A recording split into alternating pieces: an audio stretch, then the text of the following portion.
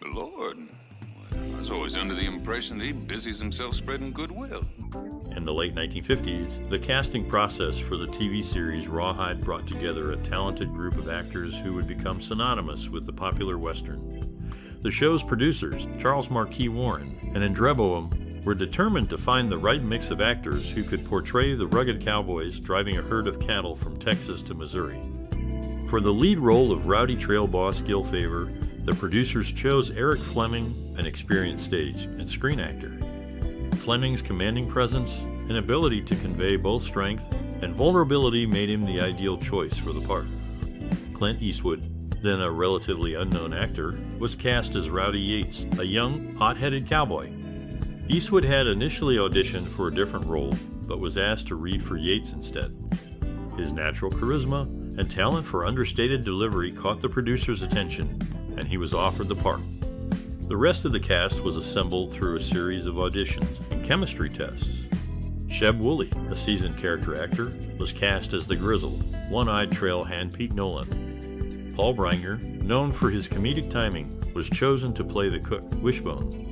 James Murdock, a young actor with a background in theater, was cast as Mushy, a lovable, slow witted wrangler. Murdock's ability to bring depth and humanity to the character made him a fan favorite. The casting of Rawhide was a crucial factor in the show's success. Each actor brought their unique talents and strengths to the production, creating a dynamic and engaging ensemble. The chemistry between the cast members was palpable, and their performances resonated with audiences, making Rawhide a beloved classic in the world of television westerns. I, am sorry, Mr. Favor. We, we were just getting acquainted with your other guest. The directorial vision behind the 1959 TV series Rawhide was largely shaped by its director, Rudolph Maté. Maté was an experienced cinematographer before he became a director, which greatly influenced his visual style. He approached storytelling from a visual perspective, using the camera to capture the vast, rugged landscapes of the American West and the characters who inhabited it. Maté's creative influences included European Expressionism, which is evident in the dramatic lighting camera angles used in Rawhide. He also drew inspiration from the classic westerns of John Ford and Howard Hawks. Maté's style was characterized by his ability to create tension and drama through visual means, rather than relying solely on dialogue. In bringing the story of Rawhide to life, Maté worked closely with the cast and crew. He collaborated with the show's writers to ensure that the scripts were visually compelling and that the characters were well developed. Maté also worked closely with the show's cinematographer, Ralph Woolsey, to create the series' distinctive look. Maté's approach to directing was hands on and collaborative. He encouraged input from the cast and crew, and he was known for his ability to create a positive and productive working environment. Maté's direction helped to establish the tone and visual style of Rawhide, which became one of the most popular and enduring westerns of the 1950s and 1960s.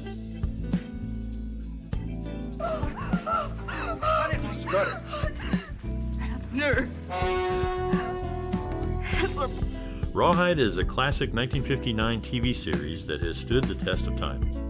It follows the adventures of a group of cattle herders driving a herd of cattle from Texas to Kansas. The show's enduring qualities include its exciting storylines, relatable characters, and realistic portrayal of life in the Old West. Many fans have cherished memories associated with this show. Maybe it was the first time they stayed up past their bedtime to watch an episode, or the sense of camaraderie they felt with the characters. Whatever the reason, Rawhide has left a lasting impression on many viewers. Do you have a cherished memory associated with Rawhide? We would love to hear your stories and memories in the comments below.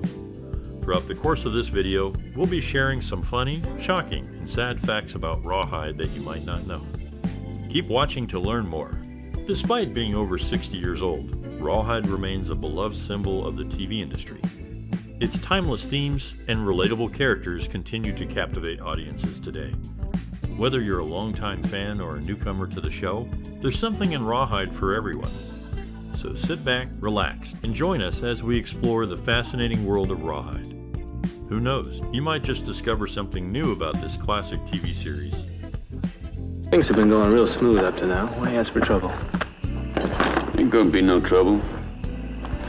The production of the 1959 TV series Rawhide took place primarily in the desert landscapes of California and Arizona. The set design was a significant aspect of the show's production, with the creation of a large cattle drive camp and a detailed cowboy town.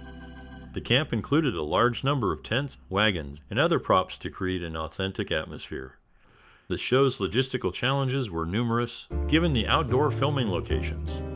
The production team had to ensure that they had enough water, food, and other supplies for the cast and crew. Additionally, they had to deal with extreme temperatures, dust storms, and other adverse weather conditions. To overcome these challenges, the production team employed several innovative techniques. They built a portable water tank that could be filled at nearby ranches, and they used air conditioned trailers to provide relief from the heat. They also used large tents to protect the cast and crew from the sun and wind. One of the most innovative techniques employed during the production of Rawhide was the use of mobile production units. These units allowed the production team to film on location rather than having to transport the cast and crew to a studio. This approach not only saved time and money, but also added to the show's authenticity. The locations used in Rawhide were carefully selected to provide a realistic backdrop for the show's cowboy adventures. The production team scouted locations in California and Arizona, looking for areas that had the right combination of rugged terrain, open skies, and natural beauty. They found many of these locations in the Mojave Desert and the Sonoran Desert. In addition to the logistical challenges and innovative techniques, Rawhide is also notable for its contributions to the Western genre. The show's depiction of life on the cattle drive helped to solidify the Western as a popular genre, and its themes of adventure, camaraderie, and survival continue to resonate with audiences today. Or piggyback before I'd let him go for money like that. Fifteen heads more like. Rawhide is a renowned Western series that aired from 1959 to 1966, known for its gritty and plausible stories that focus on the lives of the characters and the adventures they encountered during cattle drives. The show stars Eric Fleming as Gil Favor, the trail boss, and Clint Eastwood as Rowdy Yates, a young drover. The series is not just about gunfights and shoot 'em up dramas, but it also explores sensitive and controversial subjects such as Native American rights, drug abuse, women's rights, racism, and injustice. The first three and a half seasons of Rawhide are the best, with great chemistry between the four main characters Favor, Yates, Wishbone, and Nolan. However, when Wooley left halfway through season 4, the show lost more than just his character, and the series became more plot oriented and less character based. The producers tried to replace Wooley with Charles H. Gray as Clay Forrester, but his character was generally irritating, and the chemistry between the four main characters was never recaptured. Towards the end of the series, the writers resorted to making some of the characters one dimensional and recycling the same scene and dialogue, making the character side of the writing quite lazy. The plots also became formulaic, and the nice little touches of season 3 were nowhere to be seen. Despite these shortcomings, Rawhide remained a decent viewing experience until the producers decided to get rid of Favor Fleming and make Yates the main character in season 8. The final few seasons of Rawhide were not as brilliant as the first four, and the show should have probably ended after about six seasons. However, the series left an indelible mark on Western television and remains a testament to the genre's ability to tell compelling and plausible stories about the lives of the characters and the world they inhabit. Overall, Rawhide is a must watch for fans of Western television, and its enduring legacy continues to resonate with audiences today. Die real slow, huh? Like she left our friends and kinfolk die. Well, you better be ready to go the same way then. Dying real slow. The creation of a film score and soundtrack is a crucial aspect of storytelling as it enhances the narrative and emotional tone of the production. In the case of the 1959 TV series Rawhide, the music played a significant role in setting the mood for the Western genre and the show's themes. Composers Dmitri Tiomkin and Alex North were responsible for creating the music for Rawhide. Tiomkin, who composed the main theme, was an accomplished musician with a background in classical music. He was known for his ability to blend different styles and genres, creating a unique sound that complemented the visuals of the show. The main theme of Rawhide, composed by Tiomkin, is a memorable and iconic piece of music that captures the essence of the Western genre. The fast paced melody and the use of instruments like the harmonica and the guitar create a sense of adventure and excitement. The theme song's lyrics also provide a glimpse into the show's narrative as they describe the life of a cattle drover. On the other hand, Alex North, who composed the background score, was also a renowned musician known for his innovative approach to film music. He often used unconventional instruments and techniques to create a unique sound that enhanced the emotional tone of the scenes. The background score of Rawhide complements the narrative by enhancing the emotional tone of each scene. For instance, during moments of tension, the music becomes more intense and suspenseful, keeping the audience on the edge of their seats. During moments of romance or nostalgia, the music becomes softer and more melodic, evoking a sense of warmth and sentimentality. The musicians involved in the creation of the Rawhide score and soundtrack brought their expertise and creativity to the table, resulting in a memorable and iconic piece of music that has stood the test of time. The music of Rawhide is a testament to the power of music and storytelling, as it enhances the narrative and emotional tone of the show, making it a more captivating and enjoyable experience for the audience. All we want from you is to get your flock out of the way. We'd appreciate it if you'd take them up in the hills as soon as you can. Clint Eastwood gained fame through his roles in the movies A Fistful of Dollars, For a Few Dollars More, and The Good, The Bad, and The Ugly, Interestingly, a film called The Magnificent Stranger turned out to be two episodes of Rawhide edited together, leading Eastwood to sue.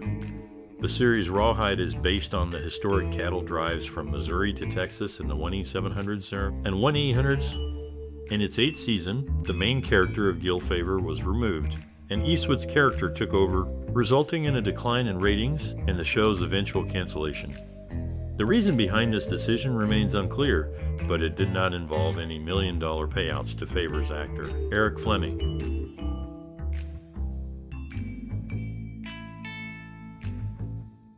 There wasn't enough. Not for the trial.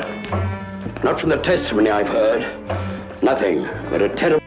One of the most iconic scenes in the 1959 TV series Rawhide is the opening credits, where the camera pans across a sea of cattle while the theme song plays in the background. The use of a wide shot gives the audience a sense of the vastness of the American West and the sheer number of cattle being driven. A haunting tune, and the visuals set the tone for the entire series. Another memorable scene is in the episode incident of the Widowmaker where Rowdy Yates, played by Clint Eastwood, has to break a wild horse. The scene is a study in tension and suspense as the audience is unsure if Yates will be able to tame the horse. Eastwood's performance is nuanced, showing both his character's determination and fear. The cinematography is also noteworthy, with close ups of Eastwood's face and the horse's movements. In the episode The Search, the character Gil Favor, played by Eric Fleming, goes on a quest to find a missing child. The scene where Favor finally finds the child is heart wrenching, with Favor's relief and joy palpable. Fleming's performance is subtle yet powerful, and the cinematography, with its use of close ups and natural lighting, adds to the emotional impact of the scene. These iconic scenes have had a lasting impact on audiences, helping to establish Rawhide as a classic Western series. The show's depiction of the American West and its characters have become ingrained in popular culture, inspiring countless other Westerns and influencing how the genre is perceived. The show's themes of perseverance, camaraderie, and the struggle against nature continue to resonate with audiences today. Chance with the old man. Can't take another one. For Sure. sure. Clint Eastwood's career took an unexpected turn when he visited his wife's friend at a television studio and landed the role of Rowdy Yates in Rawhide. The show's theme song gained popularity and was even performed in the Blues Brothers. The character of the Mexican wrangler, named Jesus, was actually named Jesus in the script, but the producers changed it to avoid controversy. In Spanish, Jesus is pronounced Jesus, which led to the character's unique name.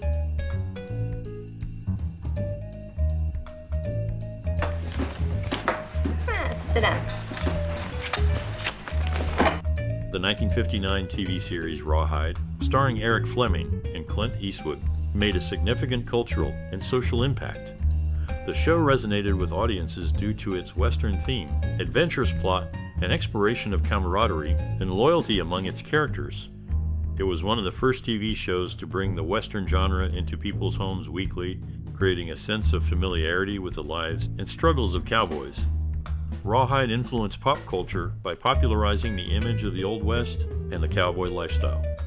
It contributed to the growing trend of Western themed entertainment, inspiring a myriad of similar shows, movies, and even music genres like country and Western. The show's iconic theme song, performed by Frankie Laine, became a massive hit and remains instantly recognizable today. Moreover, Rawhide tackled some relevant social and cultural themes. For instance, it showcased the racial and cultural diversity of the American West during the 1960s, featuring characters from Mexican, Native American, and African American backgrounds. This representation, although not without its shortcomings, was progressive for its time and contributed to discussions about equality and inclusivity.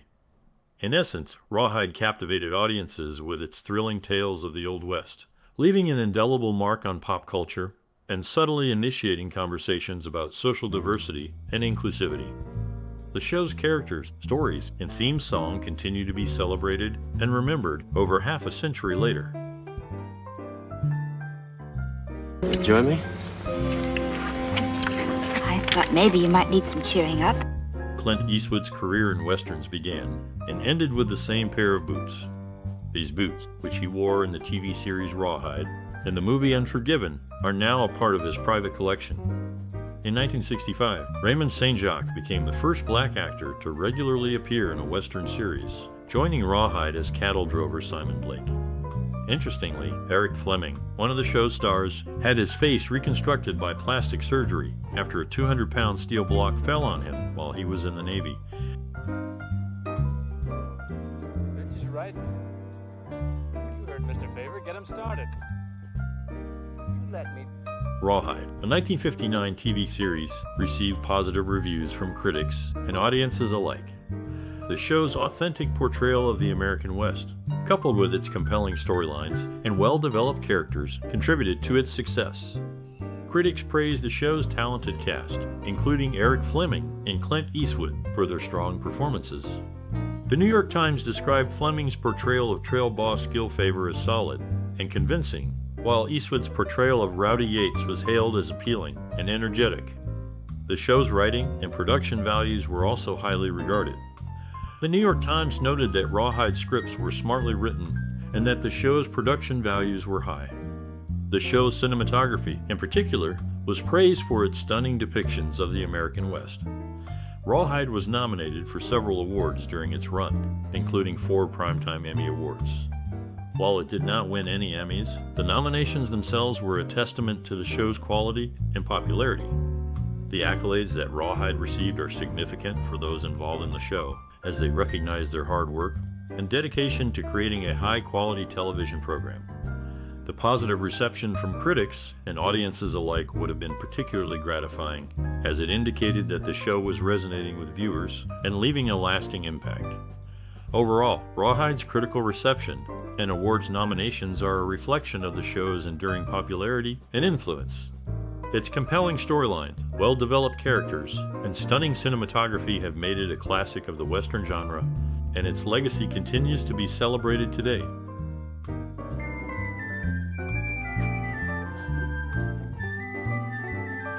Clint Eastwood was only 28 years old when he began playing the character of Rowdy Yates, who was supposed to be 19 in the TV series Rawhide.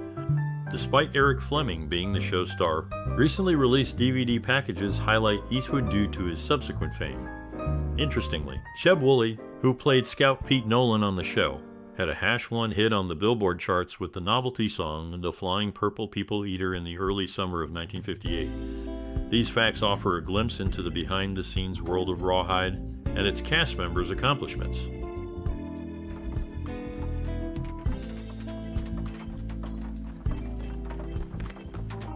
During the filming of Rawhide, the intense heat on the desert sets was a constant challenge.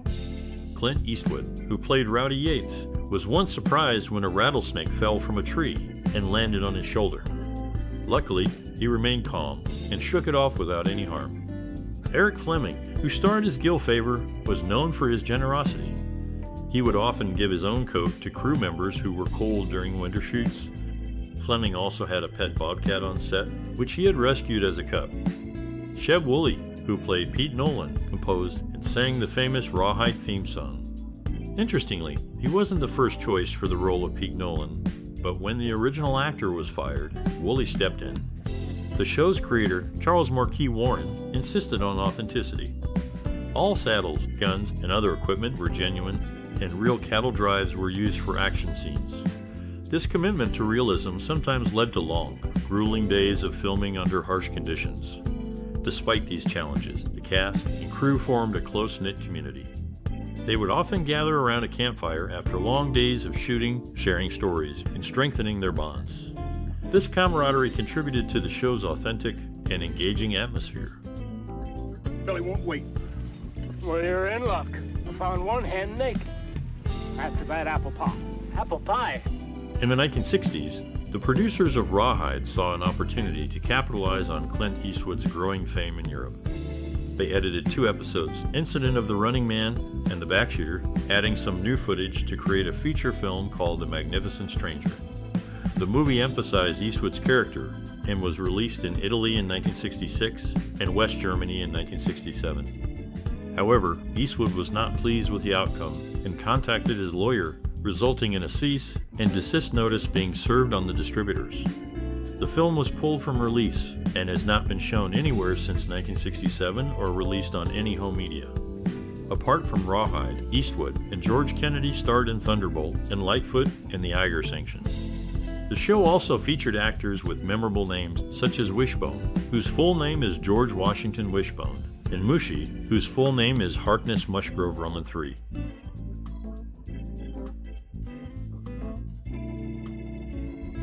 Try the jump wagon. All right. Rawhide, the 1959 TV series, holds a significant place in film history as one of the first major small screen westerns. It showcased the talents of a young Clint Eastwood, who would later become a legendary movie star. The series, with its gritty and realistic portrayal of the American West, set the stage for many future filmmakers to explore the Western genre. Rawhide's influence can be seen in various films and TV shows that followed, such as the popular spaghetti westerns of the 1960s and 1970s, including Eastwood's own Dollars trilogy. Additionally, the series' episodic format and character driven stories have become a staple in modern television, inspiring numerous contemporary dramas. The series also left its mark on popular culture with its iconic theme song and memorable characters. The show's exploration of themes like perseverance, loyalty, and the struggle for survival in the harsh frontier continue to resonate with audiences today. In essence, Rawhide played a crucial role in shaping the Western genre and the television industry as a whole, leaving a lasting legacy that continues to inspire filmmakers and entertain viewers. You join up with a herd on the Goodnight Loving Trail. That'd be your outfit, Mr. Clint Eastwood's first wife had a close friendship with TV writer Sonia Chernus, which eventually led to Eastwood being cast in Rawhide. However, his casting wasn't solely due to this connection. While visiting a friend at the CBS lot, a studio executive noticed Eastwood because he looked like a cowboy, leading to his role in the series. The show's lead actor, Eric Fleming, had a tragic end. He drowned in Peru while filming a movie at the young age of 41. These instances demonstrate the unpredictable nature of the entertainment industry, where opportunities can arise from unexpected connections and circumstances, but where tragedy can also strike at any moment. That's target practice? Not exactly. You see, we're teaching our friend up there. In the incident of the Death Dancer episode of Rawhide, which aired on December 5, 1963, actors Dick York and Barbara Eden played a grifter couple Eden's performance of the Dance of the Opium Den in a distinctive outfit would later be reprised in the 1965 TV hit I Dream of Jeannie. Clint Eastwood, the show star, used the same gun and wore the same boots and rawhide as he did in his famous spaghetti westerns and the movie Unforgiven. His choice of footwear and firearm remained consistent throughout his roles in A Fistful of Dollars. For a few dollars more, The Good, the Bad, and the Ugly, and Unforgiven Eastwood had a long term relationship with Roxanne Tunis, a regular extra and stuntwoman on Rawhide from 1959. Their daughter, Kimber Eastwood, was born in 1964, leading Eastwood to request a divorce from his wife, Maggie Johnson. However, Johnson fell ill with hepatitis and was hospitalized, prompting a reconciliation between the couple. Eastwood and Tunis eventually met in 1972, and their relationship ended around the time Eastwood began seeing Sondra Locke in the mid 70s. Tunis later appeared in Every Which Way But Loose as an extra, but Eastwood didn't inform Locke about Kimber until 1983, causing tension between the couple.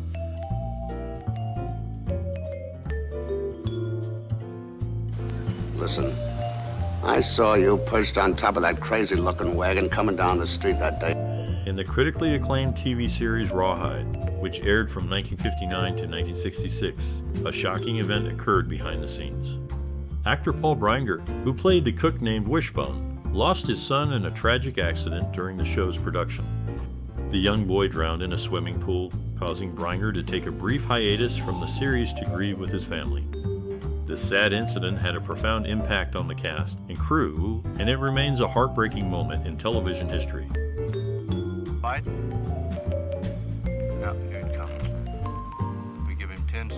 If you have memories and experiences related to the 1959 TV series Rawhide, we'd love to hear from you. Share your stories about how this classic show impacted you personally or influenced your view of cinema. Likes, shares, and subscriptions are greatly appreciated as we delve into more cinematic explorations together. We're interested in knowing what made Rawhide special to you. Was it the thrilling adventures, the memorable characters, or the talented actors that left an impression? How did this series shape your perspective on westerns or television as a whole? By engaging with us, you'll be joining a community of like minded individuals who appreciate the art of storytelling and the impact it can have on our lives. Whether you're reminiscing about watching Rawhide as a child or reflecting on its influence as an adult, your insights are invaluable. Together, we can explore the rich history of this iconic series and the lasting legacy it has left on the world of cinema. We look forward to hearing from you and learning more about your personal connection to Rawhide. Don't forget to like, share, and subscribe for more exciting content. That's good. Hey, uh, tell me something. Uh, what do you want with him? He's part of my plan.